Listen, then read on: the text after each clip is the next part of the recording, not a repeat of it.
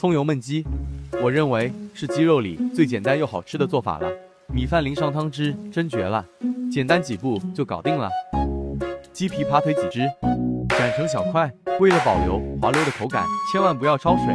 加一大勺面粉，抓洗出里面的血水，再多冲洗几遍，直到加水到清澈为止。然后加两勺生抽，一勺蚝油，一点盐，一小勺糖，鸡粉，抓匀腌制二十分钟。砂锅里放油烧热，加姜片、葱段，慢慢炸出香味后捞出，倒入腌好的鸡肉，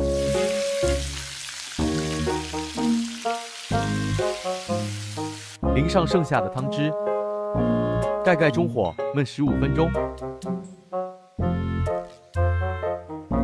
最后大火收汁，撒上一小把白芝麻，撒一点迷人的小葱花。